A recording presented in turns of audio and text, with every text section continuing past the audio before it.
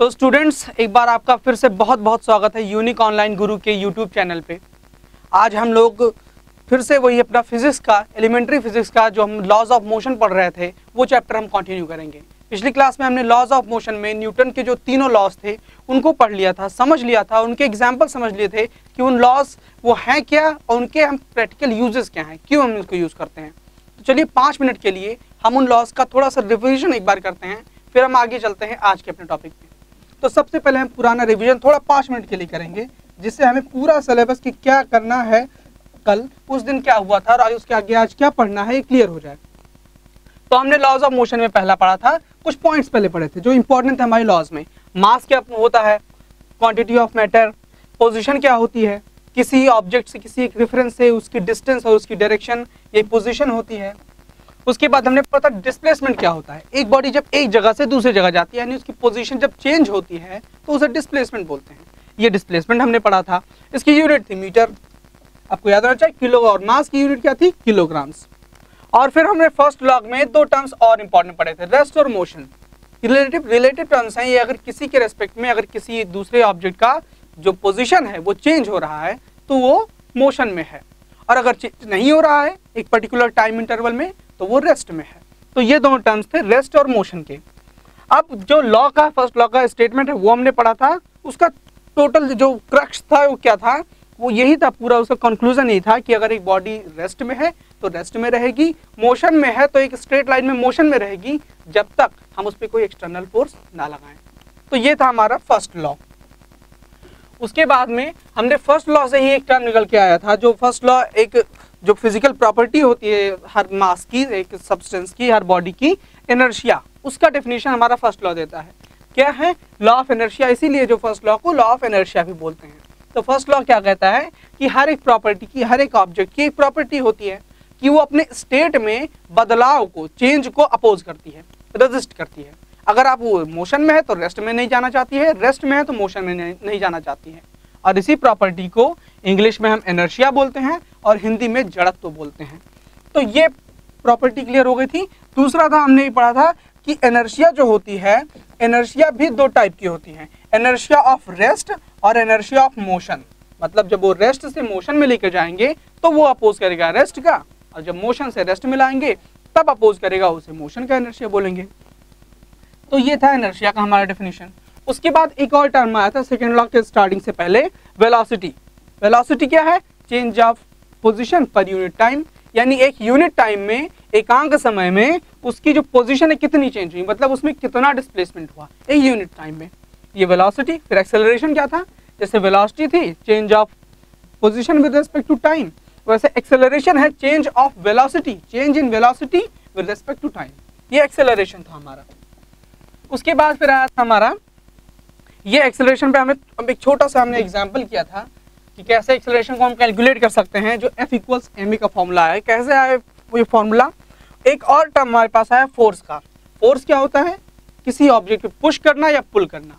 या फिर यू भी हम कह सकते हैं थोड़े और अगर हम जनरल डेफिनेशन दें तो ये है कि अगर वो फोर्स वो एजेंसी है जो किसी ऑब्जेक्ट के स्टेट में चेंज कर सकती है या उसके उसको डिफॉर्म कर सकती है, उसके शेप और साइज़ को चेंज कर सकती है।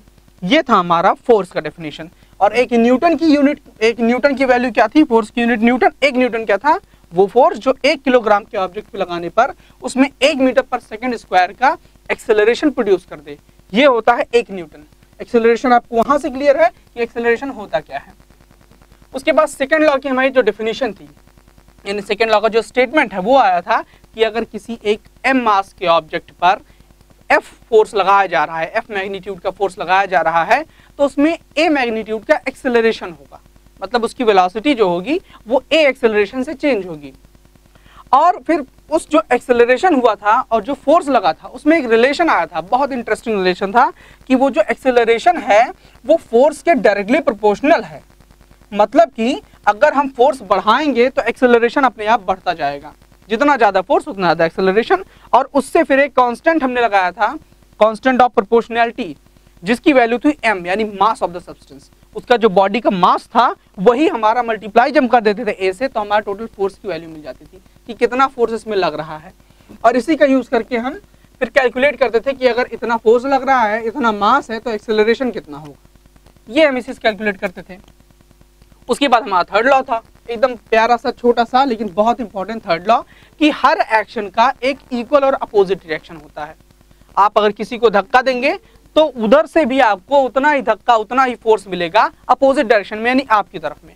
मैग्नीट्यूड सेम रहेगा। मैं जितने फोर्स से इसको दबाऊँगा, उतना ही फोर्स से ये ऊपर फोर्स लगाएगा कि इसको हटाएगा अपने ऊपर से। उतना ही फोर्स मैग्नीट्यूड सेम रहेगा, यानी इक्वल मैग्नीट्यूड ये इक्वल क्या है? इक्वल मैग्नीट्यूड है।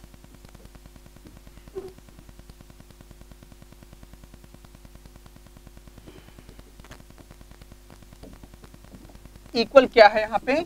इक्वल जो है, वो मैग्नीट्यूड इक्वल है। मतलब कि जो फोर्स लग रहा है उधर से, जो एक्शन हो रहा है उधर से, उसका मैग्नीट्यूड सेम है दोनों का। तो इक्वल मैग्नीट्यूड है और अपोजिट क्या है? अपोजिट डायरेक्शन के लिए यूज़ हो रहा है। जो डायरेक्शन के लिए टर्म यूज़ हो रहा है, वो है अपोजिट मतलब जो मैग्नीट्यूड होगा फोर्स का, वो इक्वल होगा। जितना फोर्स इधर से हम लगाएँगे, उतना फोर्स आएगा। और जो अपोजिट किसके लिए यूज़ हो रहा है? डायरेक्शन के लिए। मतलब अगर ये डायरेक्शन में फोर्स लगा रहे हैं तो ये डायरेक्शन में उसका रिएक्शन आएगा।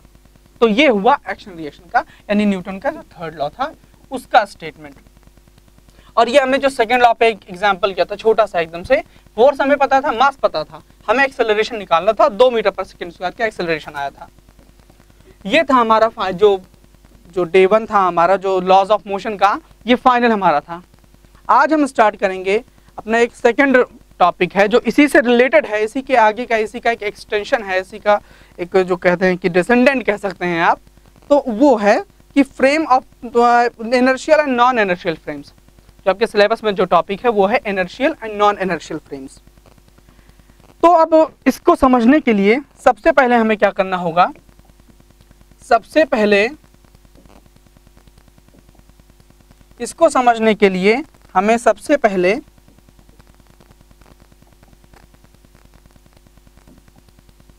ये समझना पड़ेगा कि ये फ्रेम क्या होता है पहले। भाई क्वेश्चन तो ये आ गया कि inertial and non inertial frames inertial inertial and non inertial non inertial frame frames ये थोड़ा बड़े में लिखते हैं क्योंकि ये सबसे पहला, सबसे ज़्यादा इंपॉर्टेंट यही है जिसको हमें समझना है कि फ्रेम आखिर में क्या होता है।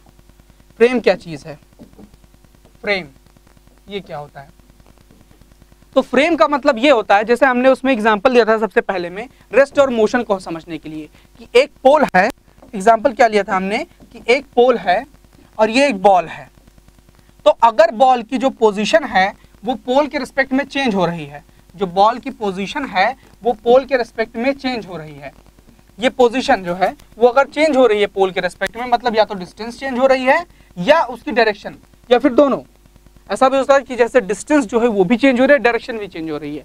जैसे कि जब एक फुटबॉल प्लेयर जो होता है, वो बॉल को किक करता है तो जो गोल पोस्ट होता है, उसके कंपेरिजन में आप देखिए क्या होता है। जो बॉल है, उसकी डिस्टेंस तो चेंज ही हो रही है। या तो उसके पास जा रहा होगा, या गोल पोस्ट से अपोजिट में जा रहा हो, दूर जा रहा होगा। डिस्टेंस चेंज हो रही है, और डायरेक्शन भी चेंज हो रही है। ऐसा नहीं कि अगर वो इस डायरेक्शन में तो ज़रूरी है कि इसी डायरेक्शन में मारे। कोशिश तो जो प्लेयर होती है, वो यही होती है कि अलग डायरेक्शन से जाए, उसमें गोल पोस्ट पे हिट करे अंदर जाके। तो पोजीशन के साथ साथ मतलब पोजीशन यहाँ पे जो डिस्टेंस है, वो भी चेंज हो रही है। उसके साथ साथ जो डायरेक्शन है पोल से, वो भी बॉल का चेंज हो रहा है। तो यहाँ पे ऐसी कंडीशन है कि दोनों चेंज हो रही हैं। ऐसा भी कंडीशन होता है जिसमें केवल डिस्टेंस चेंज हो। जैसे कि अभी हम अगर डिस्टेंस का केवल एग्ज़ाम्पल लें, एक जो कार है, वो एक स्ट्रेट लाइन में मान लीजिए रोड पे चल रही है, एकदम सीधे चल रही है, सीधी रोड है, सीधे पे चल रही है, और रोड पे आगे जाके एक ट्रैफ़िक लाइट लगी है कुछ दूर पे। अब ट्रैफ़िक लाइट से जो कार की डिस्टेंस है, वो क्या है? डिस्टेंस चेंज हो रही है, क्योंकि उसके पास जा रही है धीरे धीरे तो डिस्टेंस तो चेंज हो रही है। डायरेक्शन चेंज हो रही है क्या? ये ट्रैफ़िक लाइट है, मान लीजिए, और सामने से ये कार जा रही है इधर से यहाँ से अगर कार जा रही है, अगर हम कार को ऐसे रिप्रेजेंट करते हैं यहाँ से कार जा रही है, इस डायरेक्शन में तो डायरेक्शन उसकी चेंज हो रही है? नहीं चेंज हो रही है, क्योंकि कार इसी डायरेक्शन में जा रही थी पोल के कंपैरिजन में और उसी डायरेक्शन में जा रही है। ये सबसे इंपॉर्टेंट इसमें यही पॉइंट है।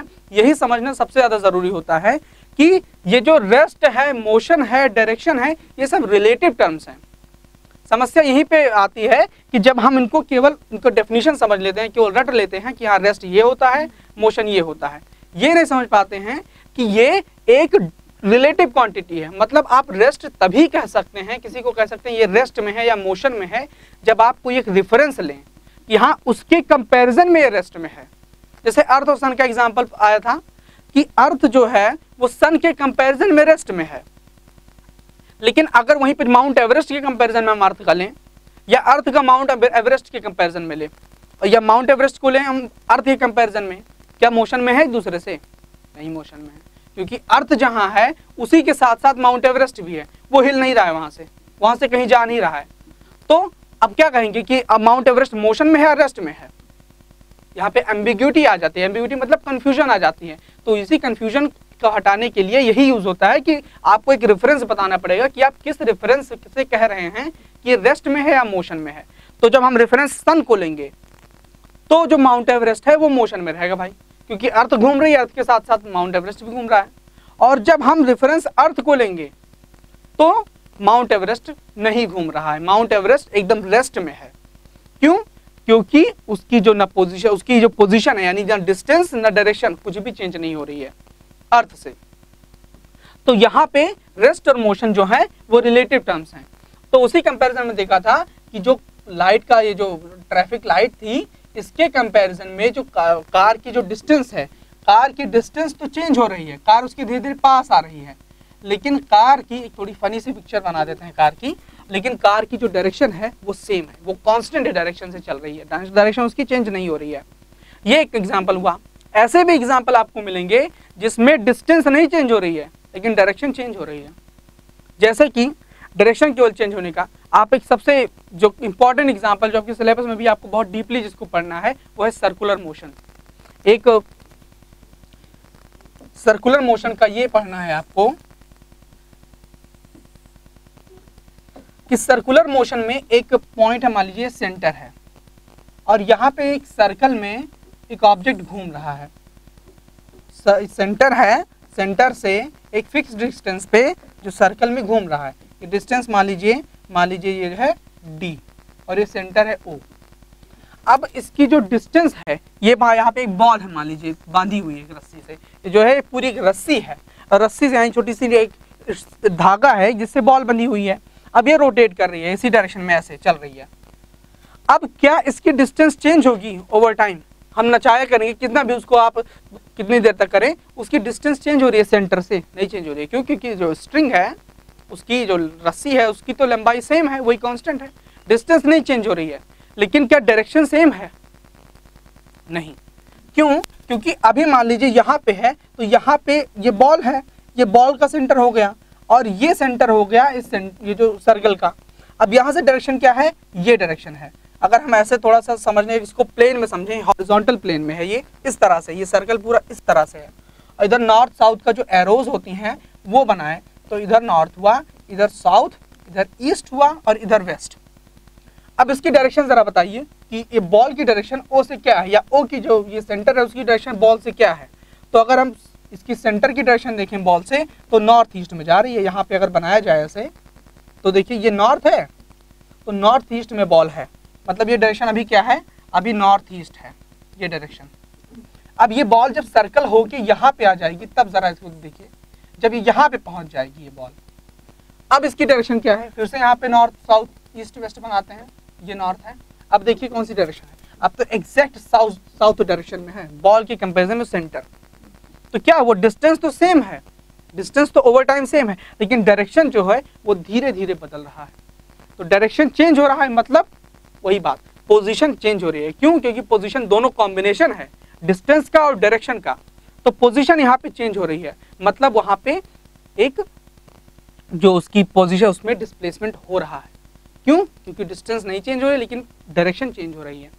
तो यहाँ पे ये एग्ज़ाम्पल हो गया ये समझाने के लिए कि जो बॉल है या मतलब एक जो एक ऑब्जेक्ट है, वो दूसरे ऑब्जेक्ट कंपैरिजन में हो सकता है उसका डिस्टेंस सेम हो, लेकिन डायरेक्शन चेंज हो। तो पोजीशन चेंज करने के पोजीशन को थोड़ा सा क्लियर करते हैं एक बार। और इससे भी क्योंकि सर्कल का हमें अब काम नहीं है क्योंकि हमारा डायरेक्शन का जो एग्ज़ाम्पल था वो हो गया। अब हम ये करते हैं। ये समझते हैं। तो हाँ ये थोड़ा एक बार क्लियर हो जाए, एक बार ज़रा लिख लिया जाए इसको कि जो पोजीशन है, वो चेंज कितने हो सकते हैं। तो वेज ऑफ़ चेंजिंग पोजीशन मतलब पोजीशन ये इंपॉर्टेंट बहुत इंपॉर्टेंट टॉपिक है। यहाँ पे अगर आप ध्यान नहीं देंगे, यहाँ पे अगर आप अभी क्लियर नहीं हो जाएगा सारे सारे डाउट्स तो आगे चल के परेशान करेंगे। इसीलिए इनको थोड़ा ज़्यादा टाइम हम देंगे कि ये क्लियरली समझ में आ जाए। कि change of ways of changing position मतलब किसी ऑब्जेक्ट का, किसी एक बॉडी का, किसी दूसरी बॉडी के कंपैरिजन में मतलब एक पॉइंट ये है, ये पॉइंट ए है, ये पॉइंट और ये पॉइंट यहाँ पे है, ये पॉइंट बी है। तो पॉइंट ए का बी के कंपैरिजन में जो पोजीशन है वो कैसे चेंज हो सकती है? क्या क्या तरीके हैं जिनसे चेंज हो सकती है? तो ये हम एक बार थोड़ा लिख लेते हैं यहाँ पे। ये दिखा देते हैं। ये है इन दोनों के बीच की डिस्टेंस डी और बी से ए का जो डायरेक्शन है वो ये है। तो डायरेक्शन फ़िलहाल के लिए अगर हम यहाँ पे वो एरो बना लेते हैं हॉरिजॉन्टल प्लेन में करके। ध्यान रखिएगा, ये वर्टिकल प्लेन है जिसमें हम बोर्ड को यूज़ कर रहे हैं, वो वर्टिकल प्लेन है, ये प्लेन और जो नॉर्थ साउथ ईस्ट वेस्ट ये डायरेक्शन होती हैं वो इस प्लेन में होती हैं ये हॉरिजॉन्टल प्लेन में। तो अगर हम इसको ऐसे यहाँ पे बना रहे हैं डायग्राम इसका मतलब क्या है? अगर हम यहाँ पे नॉर्थ साउथ ईस्ट वेस्ट लिख रहे हैं तो इसका ये मतलब है कि हमको ये इमेजिन कर रहे हैं कि ये ऐसे में हम चल रहे हैं इस प्लेन में हम देख रहे हैं इस डायरेक्शन में देख रहे हैं ना कि इस डायरेक्शन में। तो इस डायरेक्शन में इसकी डायरेक्शन क्या होगी? एक ही सीधा जो है ईस्ट डायरेक्शन होगी। एकदम से ईस्ट डायरेक्शन होगी। एक, एक ही बी के कंपेरिजन में ईस्ट डायरेक्शन है ये। ये डायरेक्शन के लिए बनाया है वेक्टर का सिंबल नहीं है, ये डायरेक्शन का सिंबल है। फ़िलहाल समझाने के लिए क्या ये डायरेक्शन है? बी का जो है ए का जो है ई e के बी के रेस्पेक्ट में। अब ये तो क्लियर हो गया कि ये डायरेक्शन है पॉइंट्स हैं। अब ये चेंज कैसे हो सकती है? मतलब ए का जो पोजीशन है, ये पोजीशन बी के कंपैरिजन में चेंज कैसे कैसे हो सकती है? तो उसके लिए तीन तरीके हैं। तीन तरीके कौन से हैं? सबसे पहला तरीका है। पहला तरीका है चेंज इन डिस्टेंस मतलब जो डिस्टेंस है, वो चेंज हो जाए। मतलब जो बी जो पॉइंट है या ए जो पॉइंट है, उसकी जो डिस्टेंस है बी से, वो चेंज हो जाए। मतलब ये जो डी है, ये ज़्यादा या ज़्यादा हो जाए या कम हो जाए। एक ये तरीका है। मतलब कि जो डिस्टेंस है वहाँ से, वो चेंज हो जाए। एक ये तरीका हुआ। दूसरा तरीका क्या हुआ? Change in change in direction क्योंकि पोजीशन क्या है? दो चीज़ का कॉम्बिनेशन है। डिस्टेंस और डायरेक्शन दोनों का, दोनों मिला के पोजीशन देखा जाता है। तो सेकंड क्या होगा? चेंज इन चेंज अब की किसमें चेंज हो? डायरेक्शन मतलब जो डायरेक्शन है उसकी रिफरेंस से, वो चेंज हो जाए। तीसरा तरीका क्या है? चेंज इन अब दोनों में चेंज या तो हो जाए। ये भी तरीका है। अगर डिस्टेंस भी चेंज हो रही है डायरेक्शन भी चेंज हो रही है तो भी वहाँ पे पोजीशन उसकी चेंज हो रही है। Change in distance distance and direction as well मतलब डिस्टेंस तो चेंज हो ही रही है, साथ में डायरेक्शन भी थोड़ी सी चेंज हो रही है, थोड़ी या बहुत, जितना भी हो, उसको हम पोजीशन में चेंज कहेंगे। मतलब डिस्टेंस जो है वो भी चेंज हो डायरेक्शन चेंज हो। जाए और तीनों का एग्ज़ाम्पल भी हम देख चुके हैं अभी। डिस्टेंस का डायरेक्शन दिया, जो फुटबॉल जो मतलब इसका था डिस्टेंस का जो कार चल रही थी ट्रैफ़िक लाइट के कंपैरिजन में। डिस्टेंस केवल चेंज हो रही थी। डायरेक्शन का एग्ज़ाम्पल दिया, जो कि सर्कल वाला था। मतलब डिस्टेंस नहीं चेंज हो रहा है, लेकिन जो बॉल है, उसकी डायरेक्शन चेंज हो रही है। ये एग्ज़ाम्पल हो गया डायरेक्शन का। और जो तीसरा है change in distance and direction as well distance और डायरेक्शन का ये एग्ज़ाम्पल कौन सा था? जो फुटबॉल प्लेयर था, जो फुटबॉल को किक कर रहा था। वहाँ पे डिस्टेंस भी चेंज हो रही थी, गोल पोस्ट के कंपैरिजन में। जो बॉल की डिस्टेंस है, वो भी चेंज हो रही थी और बॉल की जो डायरेक्शन है, वो भी चेंज हो रही थी। तो पोजीशन चेंज करने के तीन तरीके हैं। अब यहीं से जब हम क्लियर होंगे तो यहीं से अब समझ में आ जाएगा कि फ्रेम क्या होता है। तो इसको हम एक दूसरे स्लाइड पे चलते हैं अब देखते हैं फ्रेम क्या होता है। फ्रेम की एक्चुअल मीनिंग की फ्रेम क्या है। फ्रेम का एक्चुअल मतलब क्या होता है? जो हम इनर्शियल और नॉन इनर्शियल फ्रेम में पढ़ने वाले हैं, कि फ्रेम क्या होता है? तो फ्रेम क्या होता है? फ्रेम हम ऐसे समझते हैं कि अभी हमने पोल देखा बॉल के कंपैरिजन के लिए। फुटबॉल प्लेयर वाला जो था, उसकी एग्जांपल हमने गोल पोस्ट देखा। और जब कार वाला था, उसमें ट्रैफ़िक लाइट को देखा हमने। सर्कल वाले में सेंटर देखा सेंटर को देखा। तो फ्रेम ऑफ़ रेफरेंस मतलब ये फ्रेम केवल नहीं है फ्रेम में पूरा होता है फ्रेम ये पूरा क्या होता है? फ्रेम ऑफ़ रिफरेंस ये टोटल उसकी जो फिजिक्स में जो यूज़ करते हैं पूरा फ्रेम तो ऐसे हम कह देते हैं कि थोड़ा आसान पड़ता है, लेकिन एक्चुअल इसको जो बोला जाता है, जो एक्चुअल इसका नाम है, वो है फ्रेम ऑफ़ रेफरेंस अब रेफरेंस है इसे थोड़ा आपको क्लियर हो सकता है। रेफरेंस का मतलब आप किसके कंपैरिजन में देख रहे हैं? तो फ्रेम ऑफ़ रेफरेंस कुछ कॉम्प्लेक्स चीज़ नहीं, बस वही सिंपल सा, जिसके कंपैरिजन में हम चेक कर रहे हैं कि बॉडी रेस्ट में है या मोशन में है, वही हमारा फ्रेम ऑफ़ रेफरेंस है, उस पर्टिकुलर एक्सपेरिमेंट के लिए उस पर्टिकुलर एग्ज़ाम्पल के लिए। जैसे कि उसमें जब हम फुटबॉल का चेक कर रहे थे तो फुटबॉल किसी कंपैरिजन में कर रहे थे? गोल पोस्ट के। तो गोल पोस्ट के कंपैरिजन में चेक कर रहे थे तो वहाँ पे फ्रेम ऑफ़ रेफरेंस क्या था? गोल पोस्ट हमारा था। और वही जब हम चेक कर रहे थे गोल पोस्ट के अलावा ट्रैफ़िक लाइट के कंपैरिजन में। तो कंपैरिजन किससे कर रहे हैं? ट्रैफ़िक लाइट से। तो उसमें फ्रेम ऑफ़ रेफरेंस क्या हो गया? ट्रैफ़िक लाइट तो ये है फ्रेम ऑफ़ रेफरेंस मतलब जिसके कंपैरिजन में हम मोशन या रेस्ट देखते हैं। ठीक? तब इसमें हम इसको अगर एग्ज़ाम्पल लिखना चाहें मतलब इसकी अगर डेफिनेशन थोड़ी लिखनी चाहें तो ये हो जाएगा, the body in respect in relative to which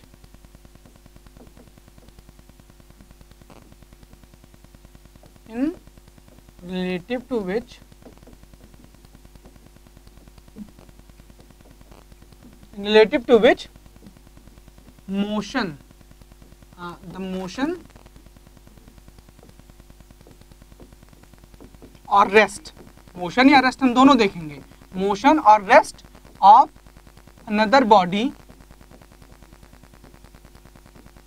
body is seen या परसीव लिख सकते हैं इज़ परसीव्ड ज़्यादा जो प्रिसाइज टर्म होगा परसीव्ड मतलब हम परसीव यानी हम कैसे उसको देखते हैं, किसके कंपैरिजन में परसेप्शन हमारा है, कि रेस्ट में है मोशन में है। उस ऑब्जेक्ट को, उस बॉडी को कहते हैं फ्रेम ऑफ़ रेफरेंस उस पर्टिकुलर एग्ज़ाम्पल के लिए, जैसे अब सन और अर्थ वाले में तो हम समझ लेते हैं फ्रेम ऑफ़ रेफरेंस का, कि जब सन और अर्थ का है माउंट एवरेस्ट अभी छोड़ देते हैं, बहुत बड़ा पड़ जा रहा है, थोड़ा छोटा चीज़ को ही लेते हैं।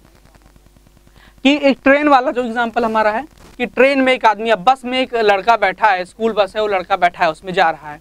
अब स्टूडेंट जो है, वो स्कूल बस में बैठा है और स्कूल बस चल रही है। अब जब हम फ्रेम ऑफ़ रेफरेंस यानी जो रेफरेंस जिस ऑब्जेक्ट से ले रहे हैं, उसको अगर हम रोड को लें, कि रोड की या रोड में एक पोल लगा है, एक पोल खड़ा है, उसके कंपैरिजन में उसका फ्रेम ऑफ़ रेफरेंस हम अगर जो पोल को बनाए तो जो बॉडी यानी जो लड़का है वहाँ पे, जो बॉय है, जो स्टूडेंट है, वो चल रहा है कि नहीं? मतलब वो मोशन में है कि नहीं? तो अगर बस चल चली तो श्योरली जब बस चल रही है तो ये भी मोशन में है। क्यों? क्योंकि जब पोल जो है, उसके कंपैरिजन में इसका पोजीशन यानी डिस्टेंस एंड डायरेक्शन बोथ यहाँ पे चेंज हो रहे हैं। तो पोजीशन उसकी चेंज हो रही है। वही अगर हम फ्रेम ऑफ़ रेफरेंस हम बस को लें, जब फ्रेम ऑफ़ रेफरेंस पोल को ले रहे थे तो बच्चा चल रहा था। अब बस को लें, बस के कंपेरिजन बस की सीट के कंपेरिजन में, ये जो ड्राइवर आगे है, इन सबको में से किसी एक को अगर फ्रेम हम लेंगे फ्रेम ऑफ़ रेफरेंस अपना। अब बताइए, जो बस की सीट है, उसके कंपैरिजन में जो स्टूडेंट है, वो चल रहा है कि नहीं? ज़ाहिर सी बात है, नहीं चल रहा है। क्यों?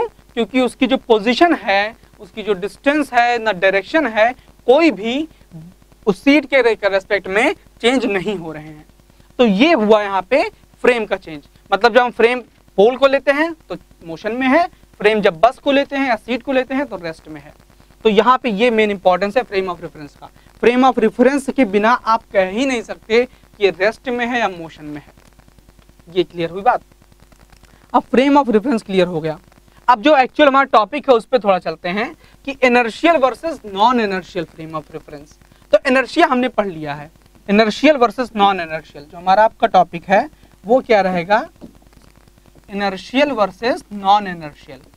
inertial versus non inertial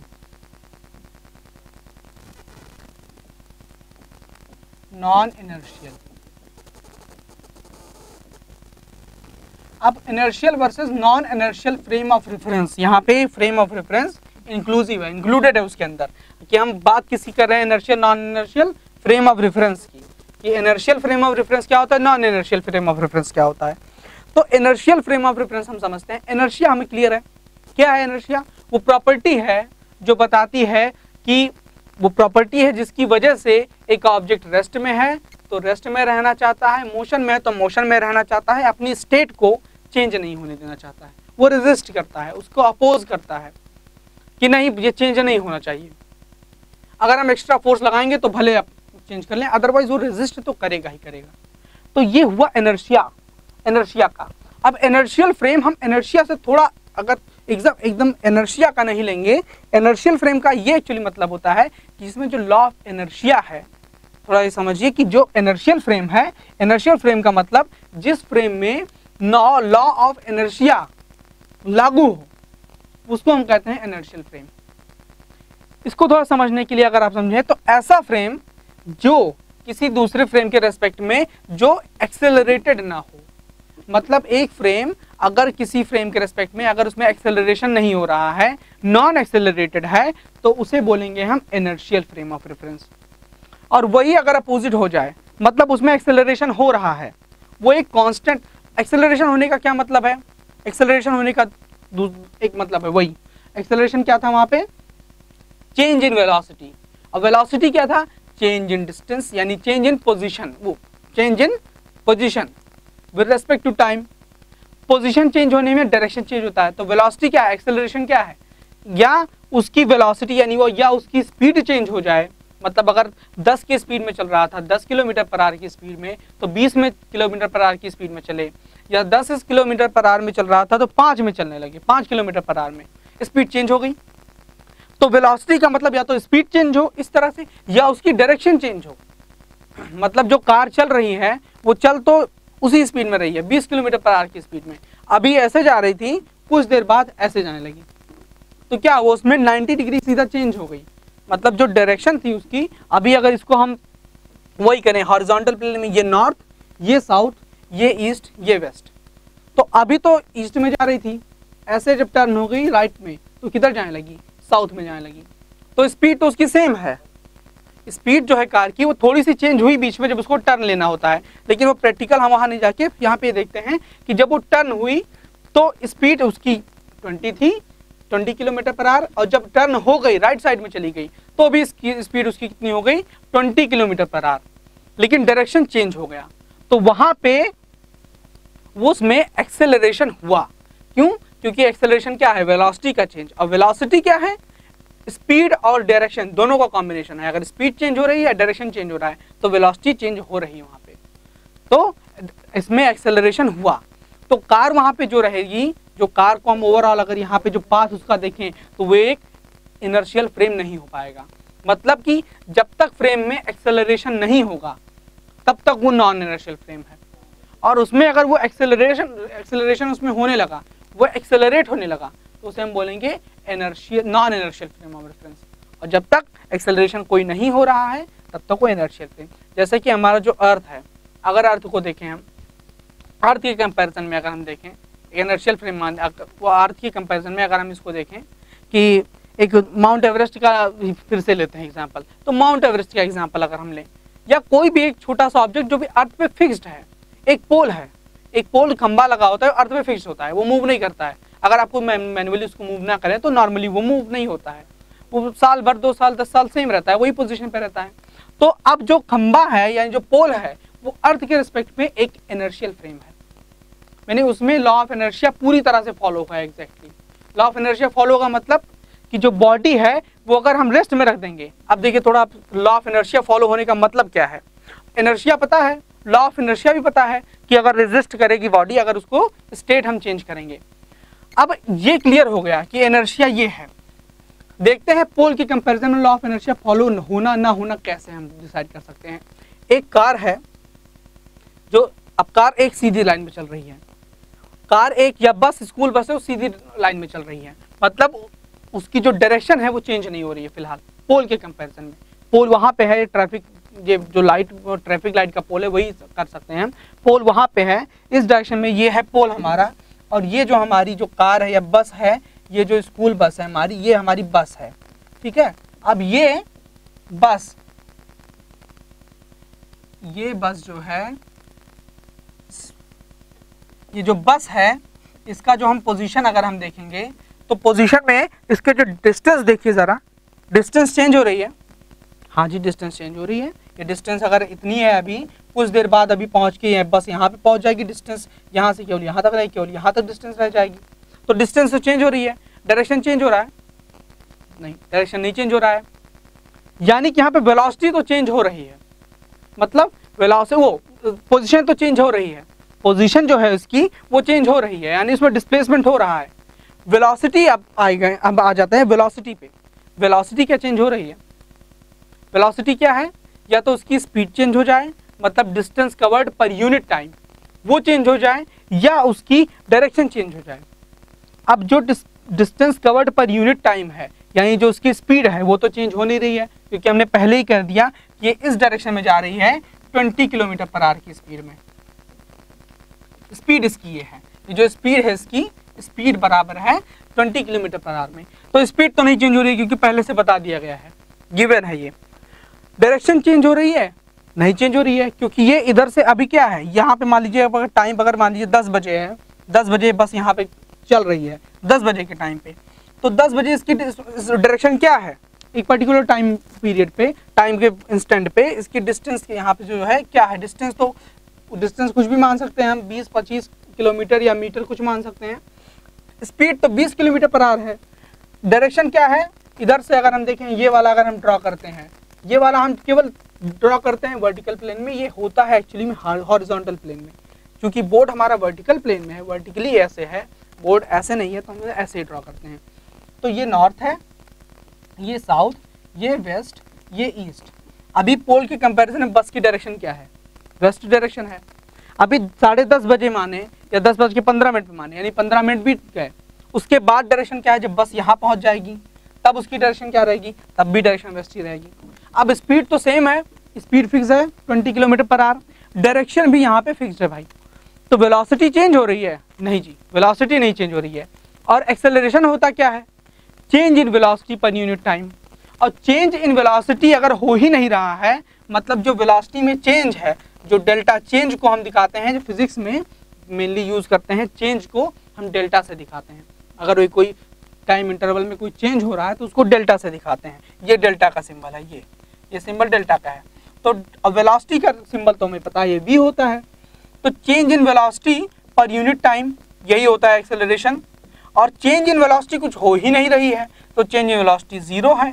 times आप कुछ भी रख लीजिए ज़ीरो के अलावा तो टाइम तो इसको एक्सेलरेशन ज़ीरो हो जाएगा। मतलब इसमें एक्सेलरेशन नहीं हो रहा है। तो अब पोल के कंपैरिजन में फिर से चलते हैं यहाँ पे न्यू स्लाइड पे।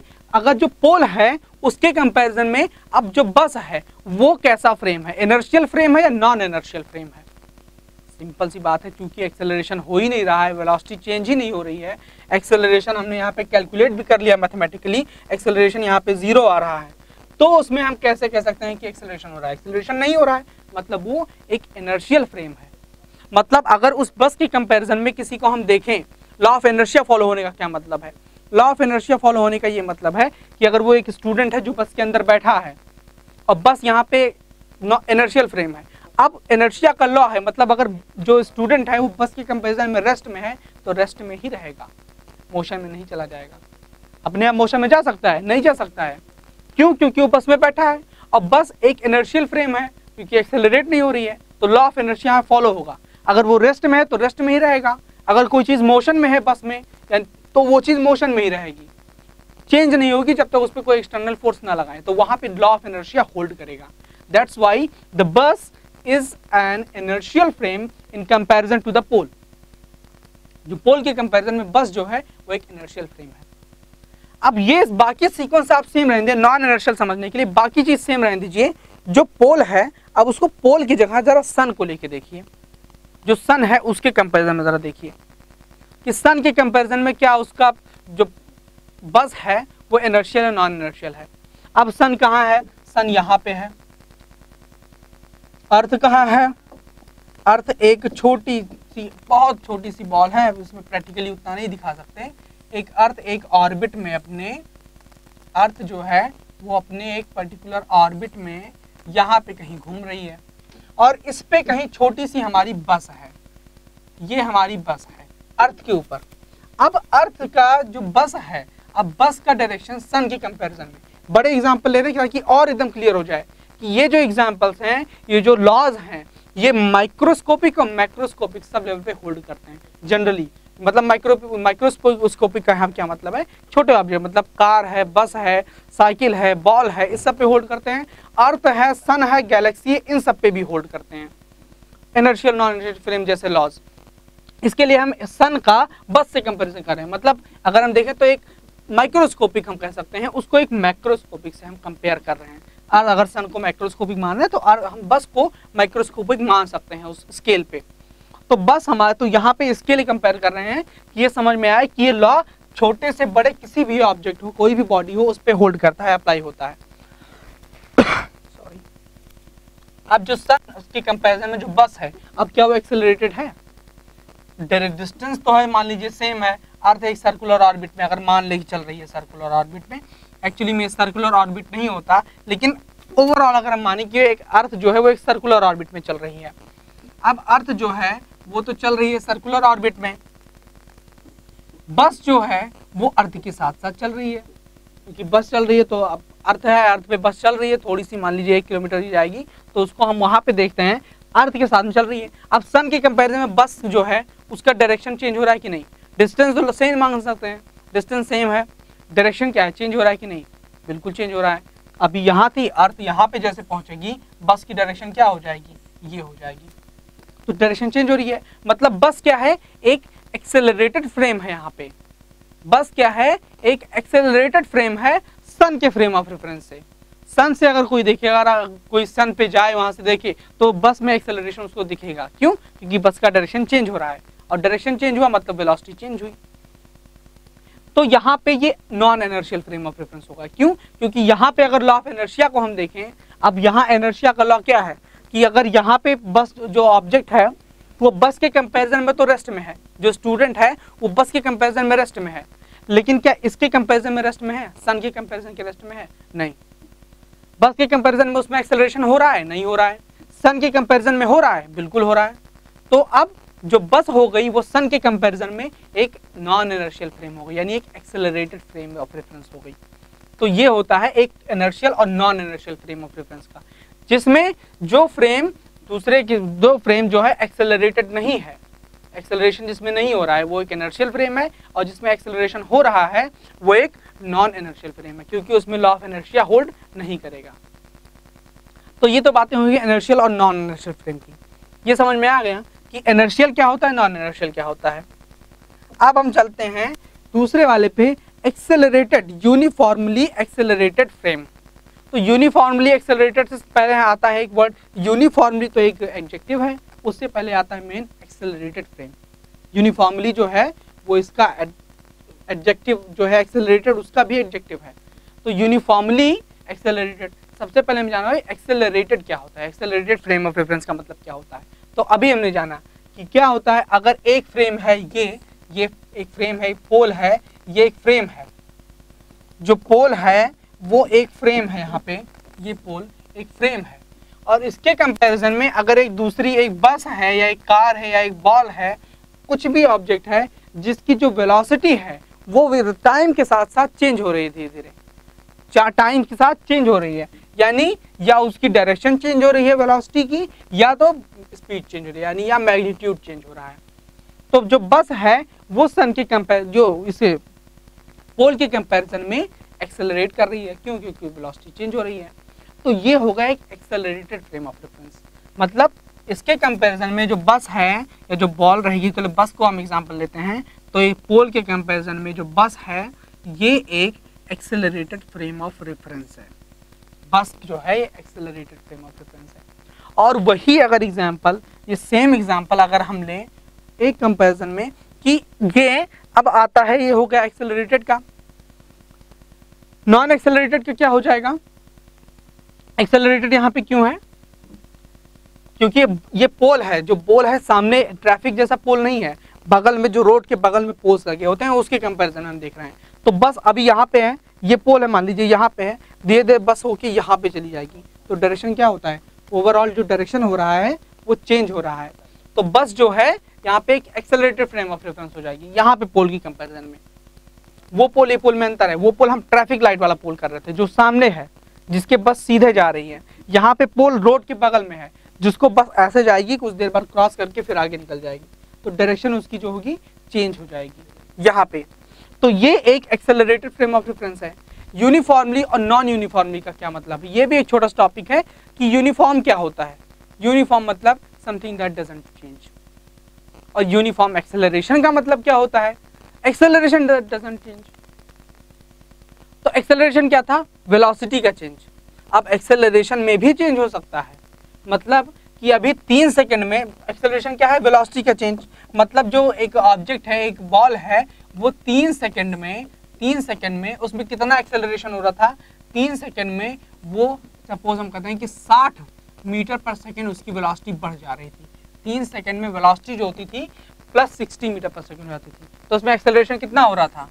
एक सेकेंड एक्सेलरेशन मतलब पर यूनिट टाइम तो 60 on three twenty metre per second square तो एक्सेलरेशन हो रहा है भैया, कितना हो रहा है?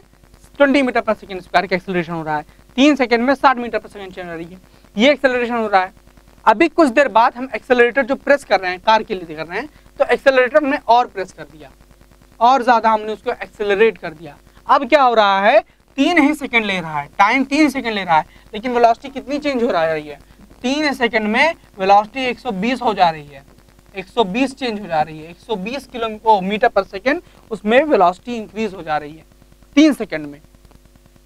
तो अब इसमें एक्सेलरेशन कितना हुआ? 120 divided by 3 40 metre per second सीधा उसका जस्ट यहाँ इसका डबल है। मतलब इसमें अभी एक्सेलरेशन तीन सेकंड तक एक्सेलरेशन हो रहा था। इनिशियली जो था, तीन सेकंड तक एक्सेलरेशन हो रहा था 60 मीटर तीन सेकंड तक मतलब तीन सेकंड के लिए 60 मीटर पर सेकेंड तीन सेकंड में बढ़ जा रही थी। अभी तक, यानी acceleration 20 metre per second square का हो रहा था। तीन सेकंड के बाद फिर अब तीन सेकंड में 120 मीटर पर सेकंड उसकी वेलोसिटी बढ़ जा रही है। मतलब अगर दस बज के बयालीस मिनट, बयालीस सेकंड पे अगर हम देखें, ten forty two, past forty two second पे अगर हम देखें तो उसकी वेलोसिटी थी, सपोज़ सौ मीटर पर सेकेंड। ये कब थी? ये कब थी? Ten forty two, ten past forty two और फोर्टी टू सेकेंड पे। ये इसकी वेलोसिटी थी इतनी। दस मीटर पर सेकेंड। और जब ये तीन सेकेंड बढ़ गया मतलब यहाँ पे ये हो गया 45 तो वेलोसिटी कितनी हो गई उसकी? 120 तो जो जाए। क्या कह रहा है कंडीशन कि यहाँ पे अगर कंडीशन देखें तो 60 मीटर पर सेकेंड बढ़ रहा है। यानी यहाँ पे उसकी वेलोसिटी हो जाएगी 160 और फिर अगले तीन सेकेंड में एक्सेलरेशन जो हो रहा है, वो 40 मीटर पर सेकेंड स्क्वायर की स्पीड के रेट से हो रहा है। मतलब कि अब जो तीन सेकेंड में एक्सेलरेशन होगा 120 मीटर पर सेकेंड का होगा। तो अगले तीन सेकेंड में, यानी ये 42 से 48 तक का 48 तक का अगर हम देखते हैं तो अब इसकी वेलोसिटी कितनी हो जाएगी? 160 था 160 था 120 प्लस कर देते हैं तो आ जाएगा, यहाँ पे आ जाएगा 280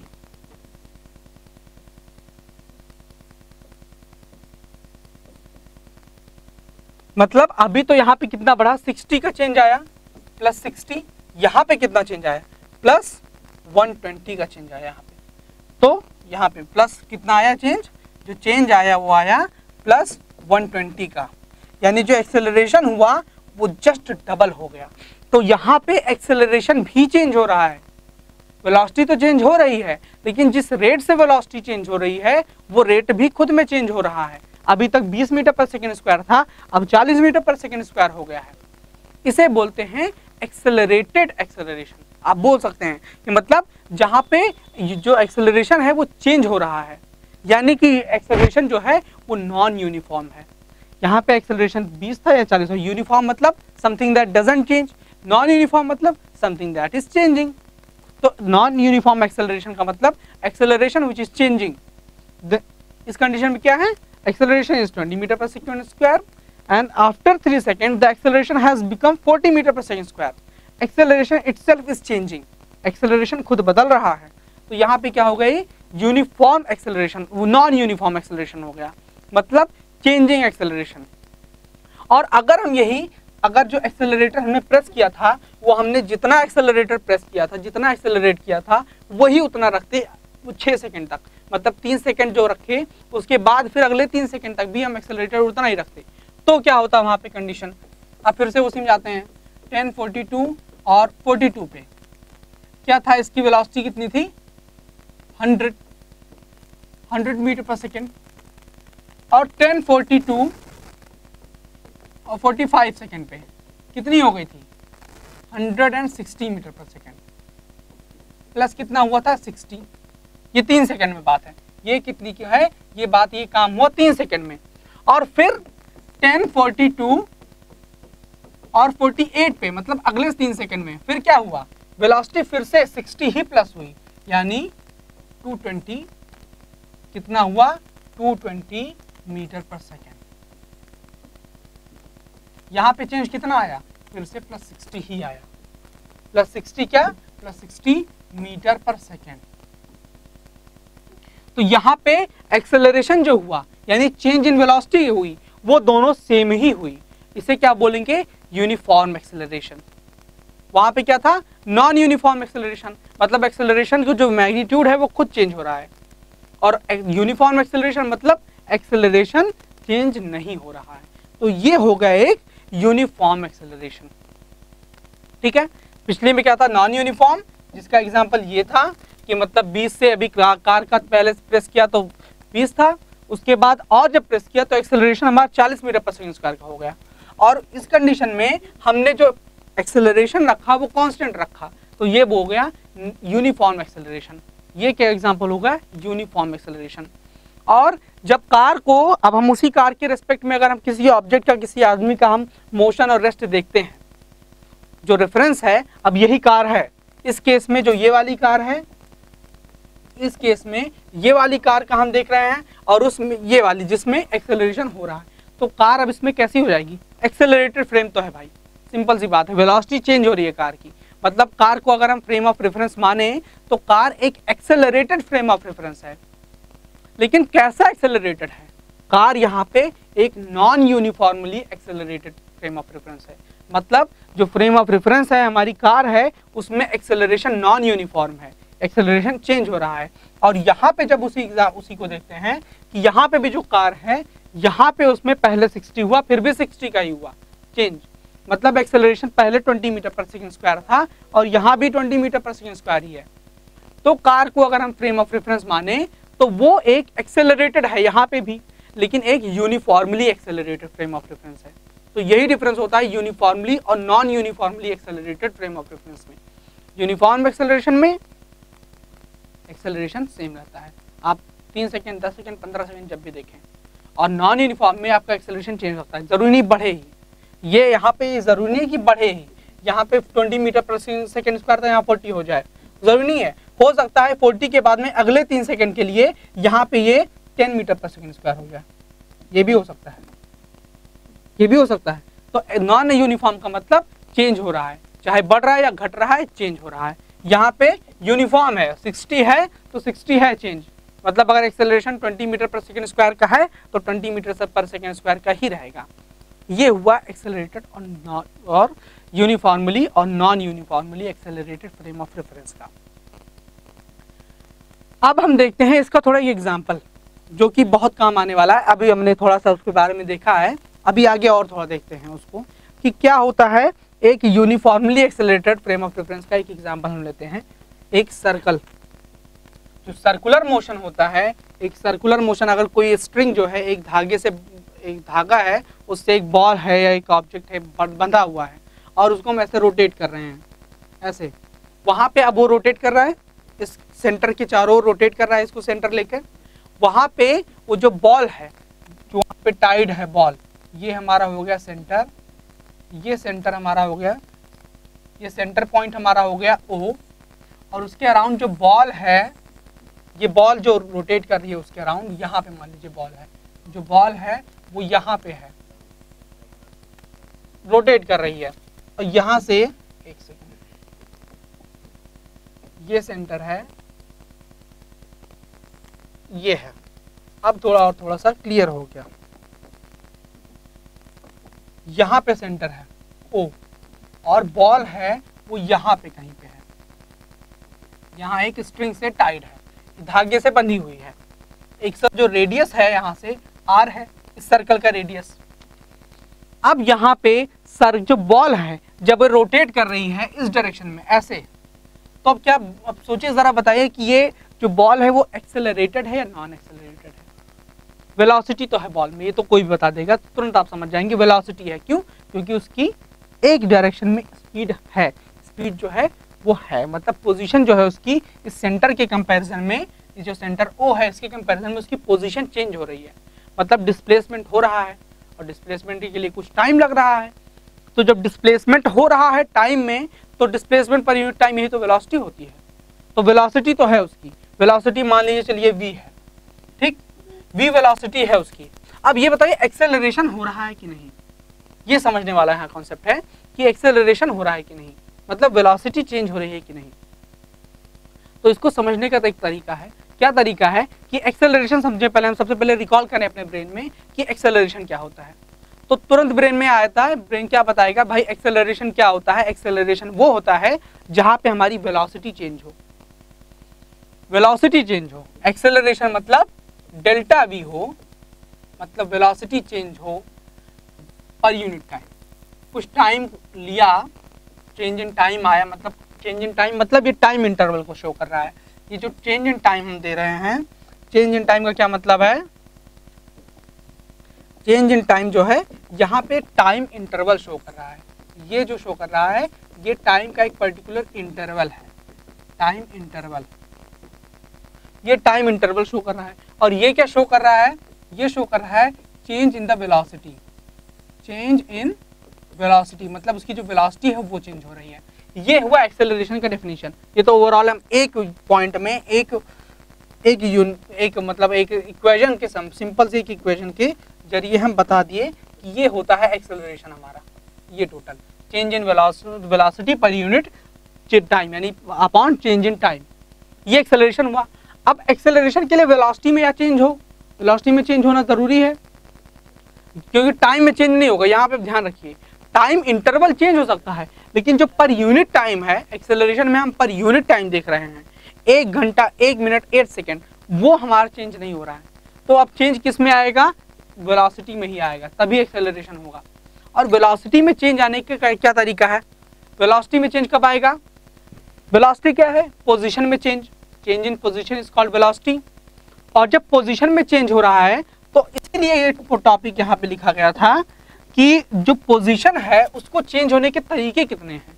मतलब कितने तरीके हैं जिनसे जो ऑब्जेक्ट है, उसका पोजीशन चेंज हो सकता है? तो तरीके कितने निकल के आए थे? तीन तरीके, तीन वेज थे जिनसे उस बॉडी का जो पोजीशन है, वो चेंज हो सकता है। एक, या तो डिस्टेंस में चेंज हो, जो रेफरेंस है, हमारा जो फ्रेम ऑफ़ रेफरेंस है, उससे इस ऑब्जेक्ट का डिस्टेंस या तो चेंज हो, या डायरेक्शन चेंज हो, या फिर दोनों ही चेंज हो डिस्टेंस और डायरेक्शन ही। तो अगर पोजीशन चेंज होगी तो वेलोसिटी तो होगी ही। और अगर वेलोसिटी भी, अब वेलोसिटी में भी सेम चीज़ आ गया। अगर वेलोसिटी है तो वेलोसिटी का चेंज का मतलब क्या हुआ? वेलोसिटी क्या है? वेलोसिटी क्या है? स्पीड और डायरेक्शन का कॉम्बिनेशन मतलब स्पीड जो है, वो चेंज हो या तो वेलोसिटी का भी सेम या तो स्पीड चेंज हो, यानी वेलोसिटी का मैग्नीट्यूड क्वांटिटी तो या तो स्पीड चेंज हो, या फिर उसकी डायरेक्शन चेंज हो। अब वेलोसिटी का जो स्पीड है मतलब जो मैग्नीट्यूड है, वो तो यहाँ पे हम देख रहे हैं कि मैग्नीट्यूड तो भाई कांस्टेंट है। वेलोसिटी का जो मैग्नीट्यूड है, ये ये तो कांस्टेंट है, हम पहले ही बता दिए वी से चल रहा है वी वेलोसिटी से।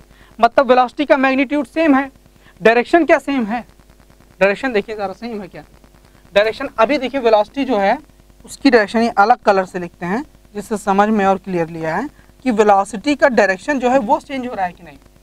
अभी वेलोसिटी का डायरेक्शन क्या है? इधर है, इस डायरेक्शन में। और ये कौन सा डायरेक्शन है? अगर इसको हॉरिजॉन्टल प्लेन में रखें या सिंपली ऐसे रखते हैं तो अभी इसका डायरेक्शन क्या है? डाउनवर्ड डायरेक्शन है। अभी वेलोसिटी क्या है? हॉरिजॉन्टल प्लेन क्योंकि ये बॉल जो रोटेट होगी, ये ऐसे रोटेट होगी इस डायरेक्शन में, ऐसे ऐसे। तो ये जो ऐसे बन के आ रहा है, ये ऐसे आएगा इस फ्रेम पे। अब वेलोसिटी जो है, वो चेंज हो रही है। वो वेलोसिटी इसमें हो रही है मतलब बॉल मोशन कर रही है। तो वेलोसिटी का इनिशियल डायरेक्शन क्या था? ये कौन सा डायरेक्शन है? ये साउथ डायरेक्शन है। ये वेलोसिटी का क्या था अभी डायरेक्शन साउथ डायरेक्शन है। अब देखिए, वेलोसिटी तो चेंज नहीं हो रही, मैग्नीट्यूड तो मतलब वेलोसिटी का मैग्नीट्यूड तो सेम है। अब ये जब बॉल यहाँ पे आ गई, तब जरा कंडीशन को देखिए।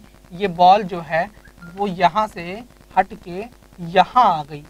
जब बॉल यहाँ पहुँच गई रेडियस आर ही है वेलोसिटी जो है वेलोसिटी का मैग्नीट्यूड, वो सेम ही है। मतलब वो तो वी से मूव ही कर रहा है। जो स्पीड है, उसकी वो सेम है। डिस्टेंस पर यूनिट टाइम अब डायरेक्शन ज़रा देखिए डायरेक्शन जो है वेलोसिटी की वो सेम है क्या? यहाँ पे फिर से बनाते हैं उसे, ये वाला। अब वेलोसिटी डायरेक्शन क्या है यहाँ पे? ये डायरेक्शन है वेलोसिटी की। और ये कौन सा डायरेक्शन है? ये नॉर्थ हो गया तो ये वेस्ट हो गया तुरंत। ये नॉर्थ हुआ तो ये वेस्ट हुआ। तो वेलोसिटी डायरेक्शन अब क्या है? अब है वेस्ट सेम यहाँ पे भी अगर देखेंगे तो वेलोसिटी की डायरेक्शन ये हो जाएगी, यानी कि नॉर्थ अब वेलोसिटी का मैग्नीट्यूड सेम है डायरेक्शन तो सामने साफ़ सामने क्लियरली दिख रहा है कि डायरेक्शन चेंज हो रहा है। यहाँ पे साउथ था, यहाँ पे वेस्ट हो गया, यहाँ पे नॉर्थ हो जाएगा और यहाँ आके जाके अभी यहाँ पे जब पहुंचेगी बॉल तो यहाँ पे इसका डायरेक्शन ईस्ट हो जाएगा। अब वेलोसिटी का मैग्नीट्यूड तो सेम है डायरेक्शन खटाखट चेंज हो रहा है कि डायरेक्शन यहाँ से यहाँ से, यहाँ यहाँ चेंज हो रहा है। मतलब वेलोसिटी चेंज हो रही है। वेलोसिटी क्या था? मैग्नीट्यूड और डायरेक्शन का कॉम्बिनेशन था। स्पीड और डायरेक्शन का। स्पीड तो चेंज नहीं हो रही, लेकिन डायरेक्शन चेंज हो रही है। मतलब वेलोसिटी चेंज हो रही है, और जैसे ही वेलोसिटी चेंज हुई, तैसे यहाँ पे ये जो वैल्यू है, ये नॉन ज़ीरो हो गई। मतलब कि ये वैल्यू की वैल्यू होगी, वेलोसिटी चेंज हो रही है। वेलोसिटी का डायरेक्शन चेंज हो रहा है मतलब यहाँ पे एक्सेलरेशन हो रहा है। और जो वेलोसिटी का डायरेक्शन है, वो यूनिफॉर्मली चेंज हो रहा है। ऐसा नहीं कि यहाँ पे कुछ वेलोसिटी है, कुछ एक्सेलरेशन हो रहा है, फिर यहाँ पे ज़्यादा एक्सेलरेशन हो गया, यहाँ पे फिर कम हो गया, ऐसा नहीं है। जो एक्सेलरेशन है, वो कंटिन्यूसली सेम है। मतलब उतना ही एक्सेलरेशन हर जगह है। डायरेक्शन वेलोसिटी की पर यूनिट टाइम उतनी ही चेंज हो रही है। तो यहाँ पे एक्सेलरेशन तो है ही, साथ ही साथ में यूनिफॉर्म एक्सेलरेशन है। That's why circular motion is called uniformly accelerated motion circular motion जो होता है किसी भी ऑब्जेक्ट का, इसी वजह से हम इसको और क्या कहते हैं? सर्कुलर मोशन को क्या कहते हैं हम? Uniformly accelerated motion circular motion जो होता है सर्कुलर मोशन को हम क्या कहते हैं? ये हमारा हुआ सर्कुलर मोशन सर्कुलर मोशन इसका एक और नाम दिया गया है। मतलब और नाम नहीं, ये एक टाइप का क्या है? सर्कुलर मोशन क्या है? ये एक टाइप का यूनिफॉर्मली एक्सेलरेटेड मोशन है। ये एक टाइप का यूनिफॉर्मली एक्सेलरेटेड मोशन है। क्यों? यूनिफॉर्मली एक्सेलरेटेड मोशन और ये अगर कोई पूछे या अगर कोई एग्ज़ाम में है कि क्यों है uniformly accelerated motion circular motion क्यों वहाँ पे क्वेश्चन यही करेंगे कि आपकी जो वेलोसिटी है वो तो भाई सेम ही है। मतलब कि स्पीड जो है वो सेम ही है। अगर यहाँ पे 10 मीटर पर सेकंड है, यहाँ पे जो है, अगर यहाँ 10 मीटर पर सेकंड है तो यहाँ भी 10 मीटर पर सेकंड है, यहाँ भी 10 मीटर पर सेकंड है तो एक्सेलरेटेड कहाँ से हो गया? तो वहाँ पे क्या आंसर होगा? कि वेलोसिटी का मैग्नीट्यूड सेम है 10 मीटर पर सेकंड लेकिन जो डायरेक्शन है, वो कंटिन्यूसली चेंज हो रही है। That's why it is an accelerated motion and moreover it is an uniform it is a uniformly accelerated motion क्यों? क्योंकि यहाँ पे जो एक्सेलरेशन है, वो यूनिफॉर्म है। वो सेम है। दैट इज़ नॉट चेंजिंग तो ये हो गया एक यूनिफॉर्मली एक्सेलरेटेड मोशन क्लियर है टॉपिक्स तो अब थोड़ा सा रिवीजन करते हैं कि आज हमने क्या क्या कब किया। आज हमने पूरा क्या क्या स्टार्टिंग में क्या क्या पढ़ा। तो सबसे पहले हमें नॉन इनर्शियल और नॉन इनर्शियल फ्रेम्स के बारे में पढ़ना था, जिसके लिए हमें सबसे पहले अपना क्लियर किया कि फ्रेम क्या होता है। फ्रेम क्या चीज़ है? फ्रेम वो है जो हम रेफरेंस लेते हैं किसी ऑब्जेक्ट के मोशन या रेस्ट को जानने के लिए, उसे फ्रेम बोलते हैं। ये हमारा फ्रेम था। फ्रेम का, अब फ्रेम का एक साथ मेरे को देखा था कि पोजीशन कैसे कैसे चेंज हो सकती है। तीन तरीके थे। डिस्टेंस या तो चेंज है, या डायरेक्शन चेंज हो जाए, या फिर दोनों ही चेंज हो जाए। ये होता है, ये क्या तरीके हैं? उसकी जो पोजीशन है वो चेंज होने के। आगे क्या था? कि जो फ्रेम ऑफ़ रेफरेंस है, वो क्या है? फ्रेम ऑफ़ रेफरेंस वही अभी बताया कि जिसके रेस्पेक्ट में हम मोशन को देख रहे हैं मोशन को हम परसीव कर रहे हैं, वही हमारा फ्रेम ऑफ़ रेफरेंस और इनर्शियल और नॉन इनर्शियल क्या हुआ? इनर्शियल फ्रेम ऑफ़ रेफरेंस वो हुआ जिसमें लॉ ऑफ़ एनर्शिया होल्ड कर रहा है। मतलब कि लॉ ऑफ़ एनर्शिया क्या है? कि अगर रेस्ट में है रेस्ट में रहेगी मोशन में है मोशन में रहेगी, जब तक आप उसको डिस्टर्ब नहीं करेंगे बाहर से, जब तक उस पर एक्सटर्नल कोई फोर्स नहीं लगाएँगे। ये एनर्शियल लॉ ऑफ़ एनर्शिया है। और ये होल्ड किसमें करती है? एक्सेलरेटेड जो non accelerated frames of reference होते हैं, उनमें ये होल्ड करती है। तो नॉन एक्सेलरेटेड वाले को हम बोलते हैं इनर्शियल फ्रेम ऑफ़ रेफरेंस और जो एक्सेलरेटेड होते हैं, उनको हम बोलते हैं non inertial frame of reference और उसी पे फिर हमने एग्ज़ाम्पल से समझा कि एक्सेलरेटेड और नॉन एक्सेलरेटेड तो हमारा क्लियर हुआ कि यूनिफॉर्मली और नॉन यूनिफॉर्मली का मतलब क्या हुआ। मतलब यहाँ पे एक्सेलरेशन का जो वैल्यू है एक्सेलरेशन खुद में चेंज हो रहा है और इस कंडीशन में जो क्या है एक्सेलरेशन की जो वैल्यू है, वो खुद में चेंज नहीं हो रही है। एक में 20 था 40 हो गया, एक में 20 था 20 ही रह गया। और इसी बेसिस पे फिर हमारा आया uniform circular motion uniform circular motion क्यों? वेलोसिटी चेंज हो रही है भैया। डायरेक्शन की वेलोसिटी की चेंज हो रही है। तो ये है हमारा यूनिफॉर्म सर्कुलर मोशन और इसी यूनिफॉर्म सर्कुलर मोशन को हम और क्या कहते हैं? यूनिफॉर्मली एक्सेलरेटेड मोशन मतलब ये एक यूनिफॉर्मली एक्सेलरेटेड मोशन का एग्ज़ाम्पल है circular motion circular motion uniformly accelerated motion का एक बहुत परफेक्ट एग्ज़ाम्पल है. तो ये थी आज की क्लास ये थे हमारे टॉपिक्स जो आपने आज डिस्कस किए. ये पुराने टॉपिक्स जो हमारे एनर्शिया थे, उससे थोड़ा सा रिलेटेड कॉन्सेप्ट था, क्योंकि उसी उन्हीं पॉइंट्स को हमने यहाँ पे आगे आके लॉ ऑफ़ एनर्शिया को यहाँ पे अप्लाई करके समझा. और यहाँ पे हमारा लास्ट टॉपिक आज का यही था कि यूनिफॉर्मली एक्सेलरेटेड मोशन क्या होता है। तो आज की क्लास यही खत्म होती है। अगर आपको वीडियो अच्छा लगे तो इसे लाइक कीजिए, अपने फ्रेंड्स को साथ में शेयर कीजिए जो फिजिक्स पढ़ना चाहते हैं, जानना चाहते हैं बेसिक्स क्लियर करना चाहते हैं अपनी फिजिक्स की। और यहीं पर हमारा आज की क्लास एंड होती है। Thank you